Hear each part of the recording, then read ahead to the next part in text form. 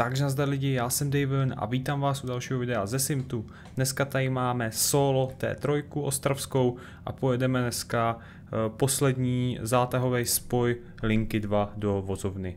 Takže jdeme na to. Tak, já už teda klasicky trošku nestíhám, takže si můžu zavřít dveře. Tak, ještě si takhle uzamču ten pohled. Tak, všechno mě funguje, ještě bych si mohl takhle hezky zařadit směr. Všechno mám nastavený. Už mám teda spoždění, ale to, jak říkám, zase tak nevadí. Je teda pro mě trošku nezvyk, že tady máme solo vůz. Takže za sebou nic jako nemám, jedu prostě jenom ze solo vozem. Je to fakt divný, no. Fakt hodně divný. Ale říkal jsem si, že to vemu. Že to zkusím, protože ještě nikdy jsem solo vůz na video nevzal, pokud si dobře vzpomínám. Hlavní nádraží. Jo, samozřejmě ještě přehodit výhybku tady nemůžem. Pořád uh, trvá ta výluka na lince 3, nemůžete teďka jít tady doleva, takže to, to pořád trvá. A trvat to ještě bude do konce prázdnin.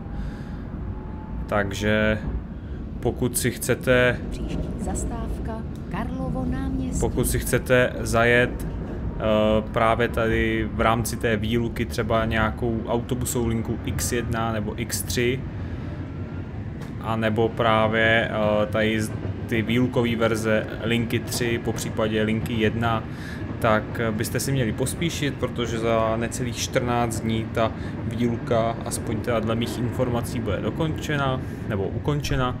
Má to být do konce prázdnin letních, takže to už máme tady, už jsme za půlkou, Dneska, co to video točím, tak máme 17. srpna, takže to za chvilku bude končit. Tak, říkal jsem si, že dneska projedeme se na lince 2, protože jsme tady na té lince podle mě docela dlouho nejeli. A... Karlovo náměstí.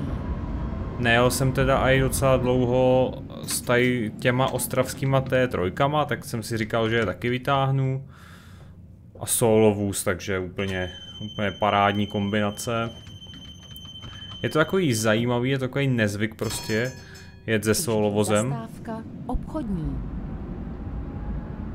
Ale je pravda, že aspoň člověk může trošku drze na nějaký čočky, co už třeba za chvilku přebliknou, už tam jsou dlouho, tak může tam hezky najet do té křižovatky, protože fakt má krátkou, krátký vůz. No jak teďka nevycházely asi 6 dní videa, takže já teďka pořád ještě dělám ten zbroják, jak jsem vám říkal, takže do 22. kdy mám právě zkoušku, tak teď se budu snažit ty videa už nějak tak vydávat, ale teď jsem se fakt jako hodně učil, takže bohužel toho času moc jako nebylo. A teď bych to chtěl vydávat. A máme už jenom pár desítek odběratelů k překonání dvoutisícovky, takže, takže se určitě těšte na video ke dvou tisícům. Uh, už vám teď můžu prozradit, že video se bude týkat samozřejmě s brněnským Urban VM 12 CNG. Už jsem to trošku týzoval v minulém videu, kdy jsem měl tu 75 v OMSI, takže a ještě tam někdo jde. Takže a, tak já ještě otevřu. Ale šup. Tak, můžu zavírat. Takže už jsem to týzoval v minulém videu z OMSI dvojky. Příští zastávka, náměstí osvobození. Že budu dělat právě i uh, ten CNG 12 metrový Urban Van, ten repaint dopravního podniku města Brna, takže to bude ve finále jako nějaký právě spec, bude to k tomu speciálu, jak kdyby, no. Takže asi tak. No, my tady se teď budeme dávat na náměstí osvobození doleva. Jsem zvědavý, jak to tady bude s tím semaforem, protože on občas, eh, nebo s těma čočkama teda, protože občas eh, tady to padá jako fakt po dlouhé době. Já přemýšlím, ono to totiž má určitě nějakou spojitost tady s tím, když to zablokuju. Tu vyhybku. O, tady musím brzdit trošku víc. Tak. Takže já přemýšlím, že si to zablokuju až teďka, až všichni vystoupí a nastoupí. Tak, už si teda zablokuju výhybku. Teda počkáme si, počkáme si na ty čočky, ale vím, že to tady padá tak jako divně tady na tom náměstí osvobození. Jinak taky jste si už určitě za začátku videa všimli, máme tady noční nasvícení celkově jako té hry. Já jsem to za začátku moc neměl rád, to noční nasvícení, takže jsem i v noci jezdil normálně za denního světla, co jsem si nastavil. Ale musím uznat, že to jako nevypadá úplně špatně.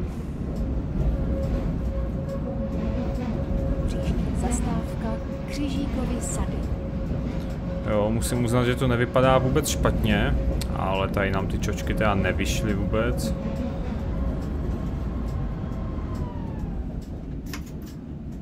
No a takhle jsem s, tou, eh, s tím solo vozem, jak vidíte, tak jsem krásně už za tou výhybkou.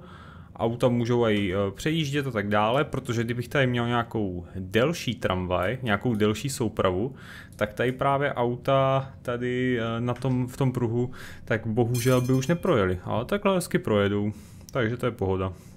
No chtěl jsem říct, že to noční nasvícení se mi v Simtu jako úplně moc nelíbilo, hlavně z toho důvodu, že ty auta tady nemají, nebo světla, tady jenom tak jako svítí, ale není tady ta zář že jo, těch světel, takže vy uh, máte zaplý světla, ale prostě nevidíte před sebou tu, uh, tu zář z toho světla, takže tady se mi to až tak nelíbilo, ale jako není to vůbec jako nějaký špatný. Teďka co tak pozoru, jako je to docela v pohodě. Autor právě téhle hry tak někam tenkrát psal do nějakého komentáře, že právě to je omezení tady toho engineu, právě, že uh, ty světla zase tak jako úplně nefungují. Já teď uh, myslím si, že tady je zastávka náměstí osvobození a jo, asi jo, doufám. takže my jedeme až na Křížikový sady a to je až tam dál.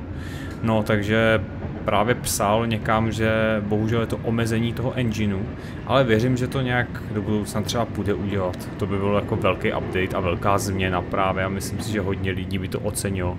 Co si budem, tak v OMSI to taky není úplně nějak eh, brutálně dobrý ty světla, takže... Takže asi tak, no. Křižíkovy sady.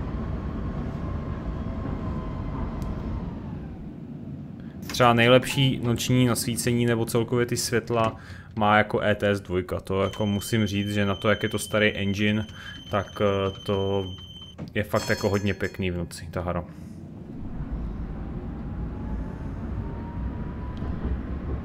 Příští zastávka Radeckého náměstí. No, tak my tady máme, myslím, třicítku.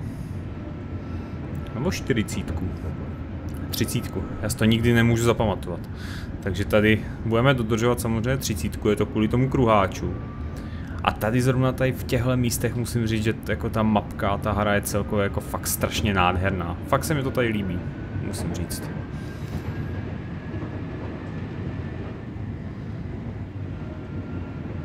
Tak, tady máme zastávku Radeckého náměstí. Radeckého náměstí.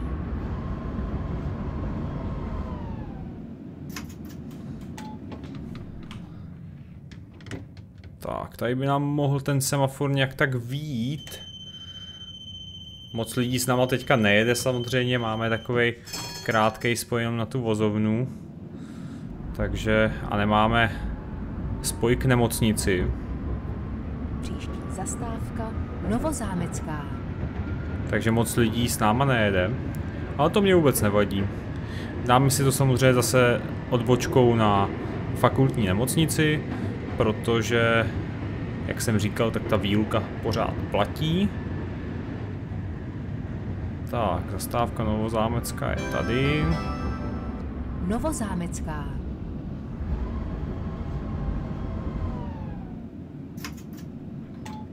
Tak a tenhle semafor podle mě taky reaguje právě na, na to moje zablokování výhybky, takže si to zablokuju až teďka. Jak si můžete všimnout, že už jsou tady opravený právě ty svršky, uh, takže už tady není omezená rychlost na 10 za hodinu.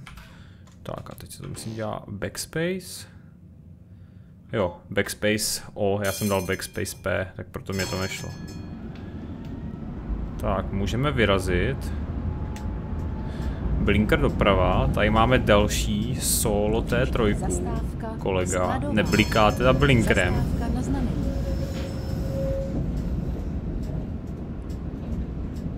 A tady máme linku 3 na Novozámeckou, která tady samozřejmě ještě v rámci výluky právě končí. Tak, už můžeme valit.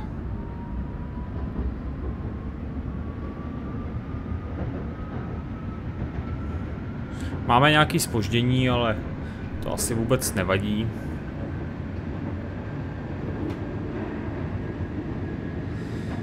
Jak máme docela teplo teda v té tramvaji, jak vidím. Máme uvnitř 27 stupňů a to už je tyho takhle večer, jako teď jsou brutální tepla, musím říct, tento týden. Tak, můžeme jet. Příští zastávka, fakultní nemocnice. Tady ještě dám takhle blinker, aby auta počítala s tím, že, že se jim budu plést do cesty.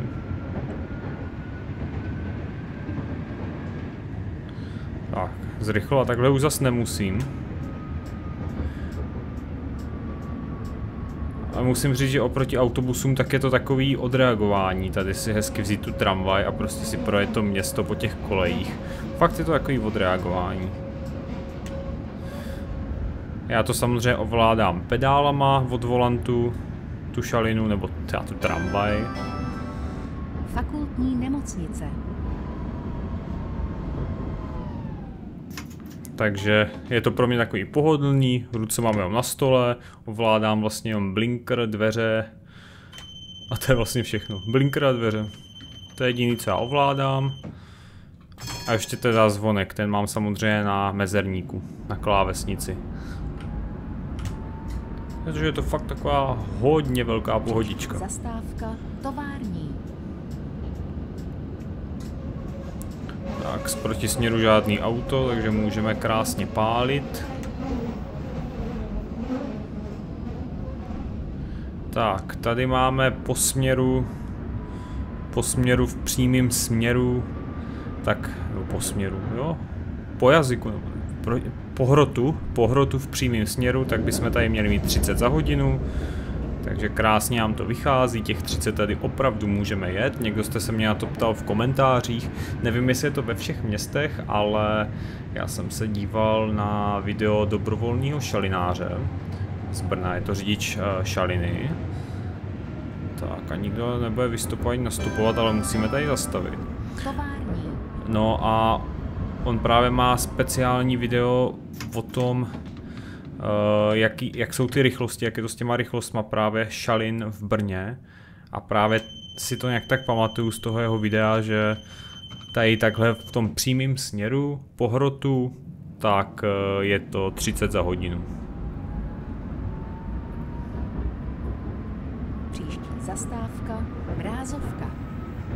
A ještě mě tady teda nevypadla na té výhybce, takhle když jedu tak mě tady nevypadla žádná tramvaj, jo, že by vykolejila. Fakt jako vůbec. Já jsem to zkoušel a musel jsem jet až nějakých 45-50, něco takového, aby ta tramvaj vypadla, jo, ale to jsem fakt jenom jako zkoušel normálně. Tady samozřejmě jezdím tou třicítkou, jak, jak mám jet, takže asi tak. Tak, mrázovka.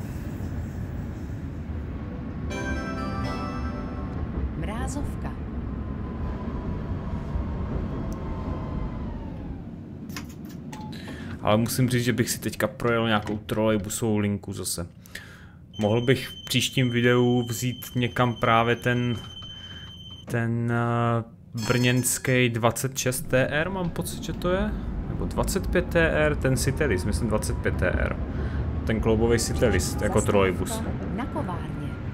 Zastávka na znamení. Tak bych ho někam mohl vytáhnout, no to je dobrý nápad docela protože trolejbusem jsme taky už docela dlouho nejeli, naposledy tady byla linka 61 za město, která mě fakt teda překvapila, musím říct, že to je úplně skvělá linka, určitě si ji někdy dáme i v druhém směru, právě ve směru do města. Tak, máme tady 40, takže můžeme pálit.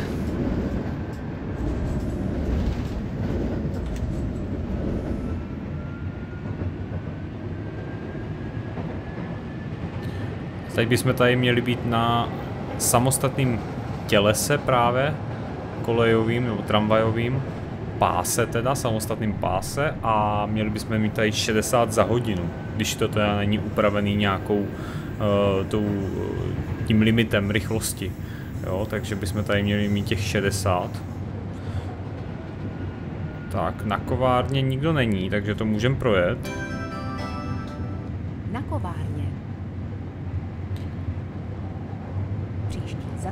Zastávka. Vozovna Střelná hora. Konečná zastávka. Aha, a my už stejně nikoho nevezeme, takže my jedeme prázdní. Takže to je paráda. Stejně teda musíme na té zastávce samozřejmě zastavit, otevřít dveře a tak dále. Ale to až, to až takový problém není.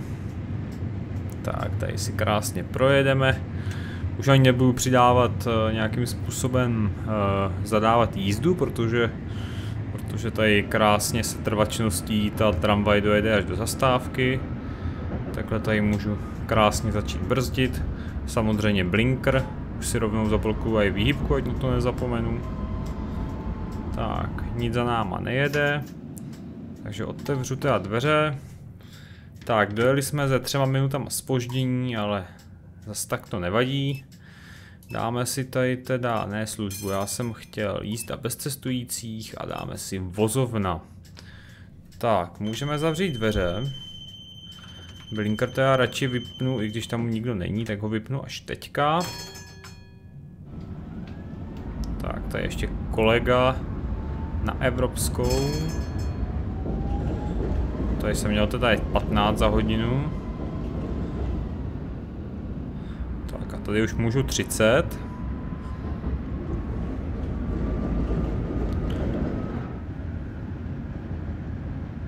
Teďka jsme ve vozovně končili docela často, co si tak vzpomínám vlastně. A ono to nevadí, protože aspoň tu vozovnu jako nějak ukážu na videu, ona je jako fakt pěkná. A minule jsme jeli doleva, ale teďka si teda dáme tady výhybku do přímého směru. Projedeme se tam do té druhé haly. Protože pokud teda, pokud se nepletu, tak eh, tohle je jakoby nová hala a tam je stará hala. Takže si to ukážeme. Tady bychom se dostali do myčky, ale tam my nechcem. Aspoň myslím, ale jo, tady je myčka. Ještě teda můžeme jet i mimo myčku. Tam je ještě vedle kolej, jo jo. Takže to slouží tady ta kolej podle mě asi, když se tady chcete prostě otočit v té vozovně a zase jet prostě na, na linku. Tak aspoň myslím, že je tady nějaká stará hala. Jo, ono se totiž couve do těch, eh, do těch vrat právě. Taková specialitka, no, tady. Tak a teď si nejsem jistý, ale myslím si, že tu výhybku tady musím přehodit samozřejmě doleva. Asi určitě.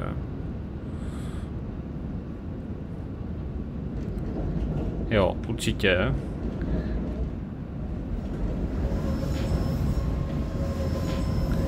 Tak a tady budeme právě přehazovat výhybku za vozidlem, takže si akorát rozmyslím do jakých vrat, ale máme to asi jedno. Tak tady pojedu až za tu druhou třeba. Jo, ono je to fakt jedno, do jakých vrat. Takhle si to akorát ukážeme. Jo, že tady do té vozovny se právě musí jet pozadu. Tak, musíme mít tu výhybku teda za soupravou. Já se teda radši najdu prostě až takhle dopředu. Dám si teda výstražný blinker. Tak. Jo, ono to má i couvací... Uh, couvací jako znamení. No, tak. Teď nevím to, jak se přehazuje ta výhybka. Jo, shift, shift a, a P. Tak a můžeme teda pomaličku couvat. Nevím, jaké, jaký rychlostní limity jsou pro couvání, ale řekněme, že třeba 5 za hodinu, tak budu teda dodržovat tu rychlost 5 km hodině. Tady v tomhle pohledu myslím nemůžeme se nějak otáčet, nemůžem, takže tak tady si ještě vyberu třeba ty, tady si vyberu, nevím, ty, to je jedno úplně, aha, jo, takhle.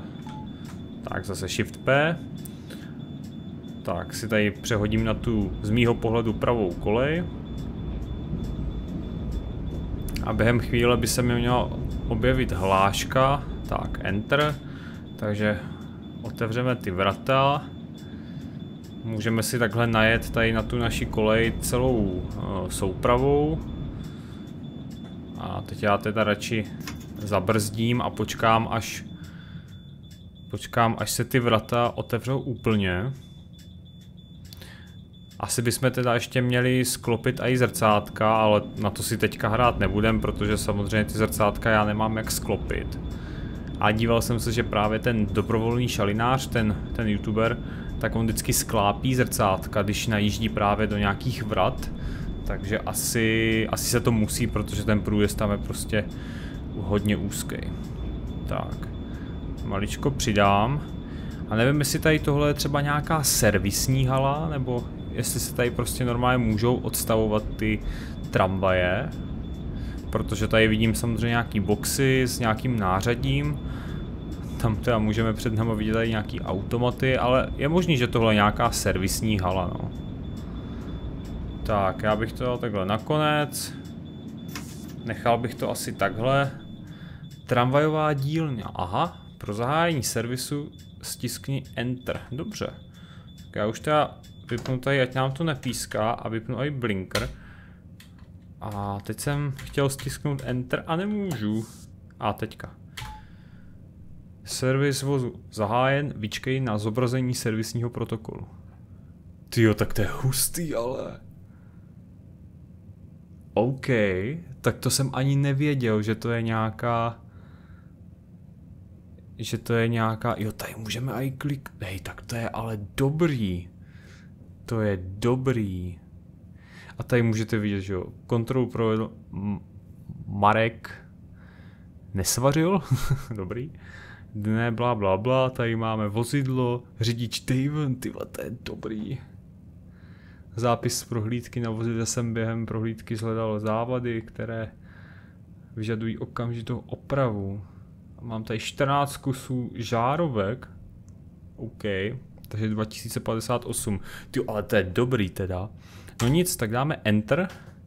Mám teda servis udělaný na, na tramvaji, takže já si myslím, že my můžeme můžeme teda jít dopředu, protože tohle je teda asi nějaká servisní hala a objedeme si ještě jednou tu celou vozovnu a pojedeme normálně do naší garáže, kde zastavíme a teda necháme tu tramvaj už odstavenou.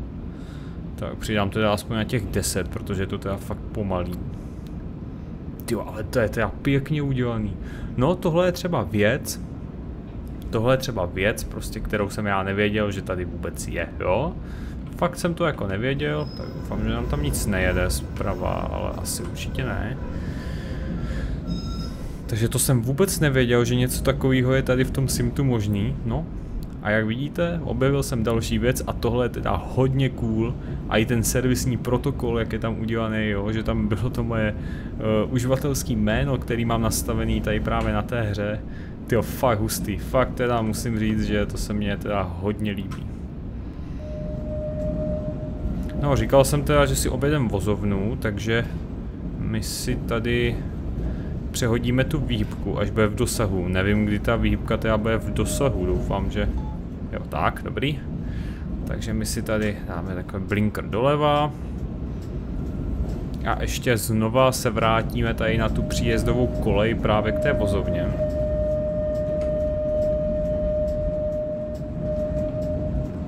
Tak, nic tam nejede.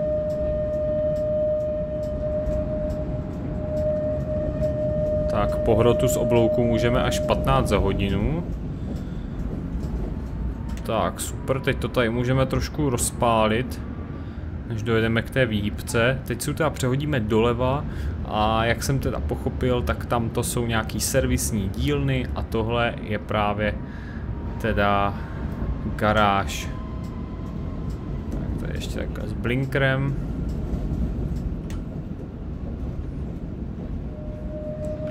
Tak a já si myslím, že můžeme klidně zahajet hned do těch eh, prvních vrat, takže si takhle krásně přehodíme výhybku. A teď jsem chvilku, oh, teď, teď jsem omylem máčkl jinou klávesu.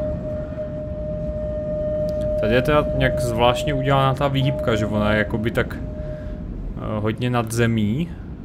A je tady takový skok, doufám, že nějak nevykolejím nebo něco. Teda, jo, ty vrata, já musím k ním přijet takhle blíž. Tak, teď počkáme teda na otevření vrat. Ty vrata se otevírají docela pomalu. Ale otevírají se, takže to je, to je hlavní. Tyjo, to, to jsem fakt, fakt jsem z toho jako překvapený, tyjo, z té servisní dílny. Z toho protokolu, to je hustý, to jsou, to jsou fakt jako takový maličkosti prostě, který, který tu hru dělají jako dost jako příjemnější, no. Tak vyjíždíme do haly, tak si tady takhle rožnu i ty blikačky. Nevím, jestli to mám dělat nebo ne, ale co jsem viděl právě u zase toho dobrovolného šalináře, tak on to dělá, jo, takže nevím, jestli to je jako povinnost nebo ne. Tak, já bych to asi nechal takhle teda, ještě bychom správně měli přijet blíž k těm vratům samozřejmě, aby se za nás vlezlo co nejvíc vozů. Ale dělat to nebudem, protože protože prostě já potřebuju že jo, nějaký místo pro kameru, aby, abych měl v záběru ten vůz. Tak, my, si teda, my se tady odhlásíme, tady z toho palubáku, eh, na službu ne, jízda bez cestujících, jenom nemůžu nějakým způsobem úplně všechno vypnout z panelu, nevadí. Dáme teda odhlásit, tak jsme teda odhlášení ze systému, můžeme otevřít přední dveře, No a můžeme jít na ukončení videa. Tak jo, takže já vám ještě jednou moc děkuju za sledování tohohle videa a celkově, že sledujete moje všechny videa. Za chvilku tady máme 2000 odběratelů, takže pokud se chcete stát součástí tady téhle velké akce, která bude v podobě vydání mýho dalšího repaintu do OMSy, tak určitě klikněte na tlačítko odebírat, pokud ho ještě nemáte zakliknutý. A to by bylo teda dneska všechno. Já se s váma loučím a u dalšího videa zase zdarec.